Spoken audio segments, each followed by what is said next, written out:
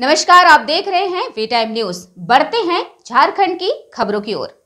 लोकसभा निर्वाचन क्षेत्र चतरा से भारतीय जनता पार्टी के कालीचरण सिंह की जीत से संसदीय क्षेत्र की जनता में हर्ष और उल्लास का माहौल बना हुआ है।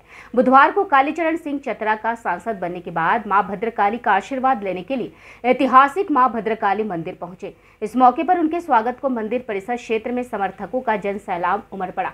इटखोरी पहुँचने पर नवनिर्वाचित सांसद का इटखोरी वासियों ने भव्य स्वागत किया। ऐसे मौके पर कार्यकर्ताओं से लेकर आम जनमानस में हर्ष का माहौल देखने को मिला। पहली बार चतरा की मिट्टी के लाल कालीचरण सिंह के सांसद चुने जाने पर लोगों में हर्ष और उल्लास का माहौल देखने को मिला। इस मौके पर बातचीत के क्रम में आम लोगों ने कालीचरण सिंह के प्रति अपनी आस्था और भावना को व्यक्त किया। आम लोगों का मानना है कि स्थानीय उम्मीदवार के चुने जाने से चतरा का अब चहुमुखी विकास होगा। विकास की जो धारा अवरुद्ध थी, वह धारा अब निर्वाध रूप से विकास की गंगा के रूप में बहेगी। चतरा की समस्याओं का अब समाधान होगा। आइए देखते हैं इस मौके पर आम लोगों ने क्या कुछ कहा? सबसे पहले बात है कि स्थानीय सांसद हमारे बने। जो बरसों का सपना था, ये पूरा हुआ और हम लोग जी तोड़ के मेहनत किए दो महीना पूरा हम लोग सब यहाँ के कार्यकर्ता हैं हमारे चतरा सिमरिया सारे तन मन धन लगा के हम लोग अपना जीत का मतलब आज उसका फल हम लोग को कल मिला। नहीं नहीं सारी समस्याएँ अब हमारे सांसद स्थानीय बने हैं तो सारा सपना जो है वो हम लोग का पूरा होगा। पहले इसलिए होता था कि आज दिल्ली कल पटना। मुंबई, हाँ। ये हमारे अब स्थानीय सांसद हमारे चाली कालीचरण भैया जो हैं वो हमारे स्थानीय हैं तो उनका लाभ हमारे पूरा लोकसभा विधानसभा को पूरा मिल रहा है। और इसमें कहीं संदेह नहीं है। इसमें कहीं संदेह नहीं है कि हमारे सांसद आज हैं और भाग जाएँगे ऐसा नहीं है। जो भगौड़ा थे वो भागे। स्थानीय स्थानीय नहीं भागेंगे।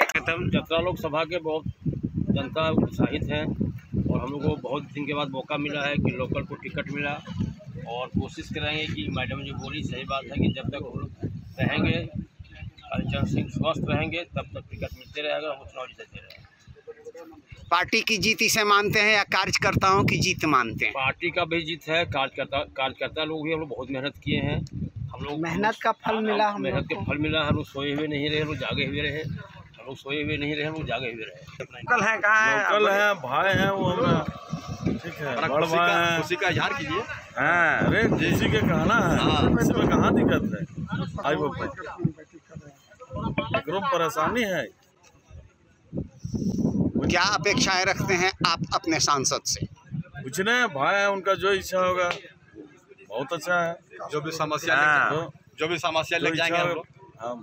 उनका इच्छा। होगा बहुत दिन के बाद ऐसा मौका मिला है कि स्थानीय संसद को दिया गया ठीक है? और हम लोग तो पूरा आशा विश्वास के साथ में भी माने चाह रहे हैं कि बहुत अधिक से अधिक विकास होगा चतरा में। चतरा में कई तरह की समस्याएँ हैं। सबसे बड़ी समस्या है चतरा को रेल से जोड़ना।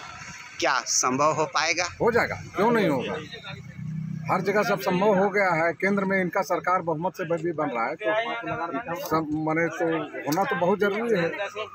तय है होना होना तय स्थानीय हैं।